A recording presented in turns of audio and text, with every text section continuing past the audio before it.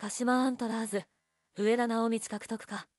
この動画では、鹿島アントラーズが、獲得の噂がある上田直道選手のニュースについて振り返ります。ぜひ、最後までご視聴よろしくお願いします。J リーグについて動画を上げていますので、チャンネル登録の方よろしくお願いいたします。11月5日、鹿島アントラーズは、フランス2部ニームに所属する、上田直道選手の獲得に乗り出すことが分かったと報じています。上田選手は、1994年10月24日生まれの現在28歳。身長186センチ、体重77キロの選手です。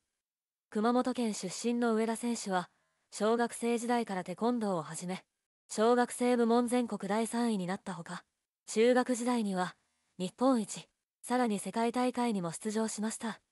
並行して、小学生3年の時にサッカーも始め、中学時代は、宇都市立住吉中学校に進学。中学卒業後は、どうせやるなら、全国躍動を目指せる環境で挑戦したかったという思いで、地元の強豪校である大津高校に入学しました。入学時から一目置かれる、身長180センチを超えるフォワードでしたが、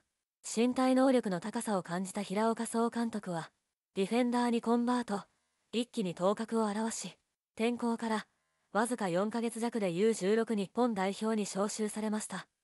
高校3年時には、主将としてチームを牽引しました。高校卒業後は、同じ、大津高校の豊川優太選手と共に鹿島アントラーズに加入。入団2年目の開幕戦で J リーグ初出場を果たしました。入団4年目の FIFA クラブワールドカップ2016では、庄司源選手とディフェンスラインを組み、堅い守備で決勝進出に貢献しました。2018年7月12日、ベルギー1部リーグのサークルブルッフェへの移籍。2021年からフランスリーグワンのニームオリンピックへ移籍しています。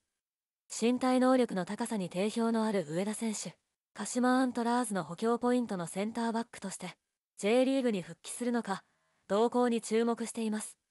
以上、リッパーのサッカーチャンネルでした。